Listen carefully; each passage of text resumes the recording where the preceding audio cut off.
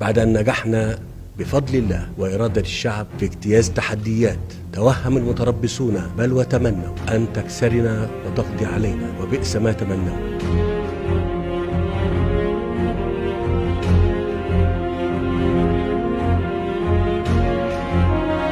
يوم الثلاثين من يونيو 2013 الذي سيبقى خالدا في وجداننا جيلا بعد جيل. إن ثورة الثلاثين من يونيو المجيدة لحظة فارقة في تاريخ هذا الوطن الغالي.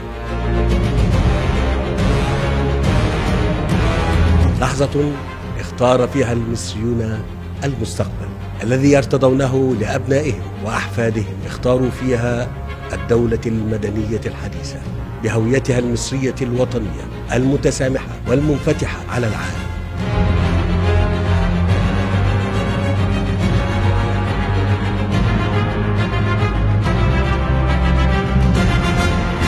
واجهنا موجات عاتية من الإرهاب الأسود تحالفا ملعونا بين قوى شر ودمار أرادت وما زالت تريد النيل من وطننا تلك الموجات التي تحطمت على صخور إرادة المصريين الصلبة وكما فشل الأشرار من قبل سيفشلون مجددا بإذن الله.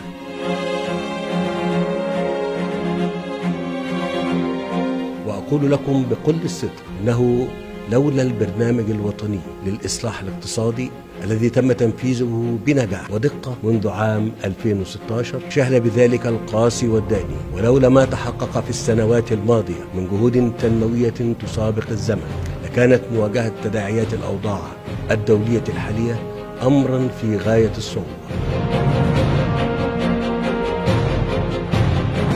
في ثورة الثلاثين من يونيو كان صوت مصر هادرا ومسموعا.